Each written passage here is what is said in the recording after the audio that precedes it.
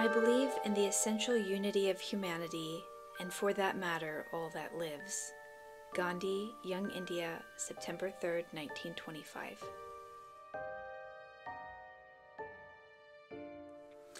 We are beginning to realize in our civilization also that it has an underlying fundamental, well, let's just say, mistake, and that is to believe in the reality of separateness.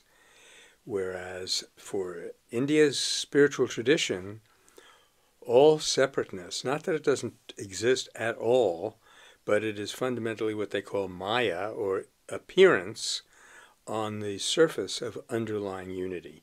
And once you've grasped that, nonviolence is inevitable, and as are many other things that we might consider reforms.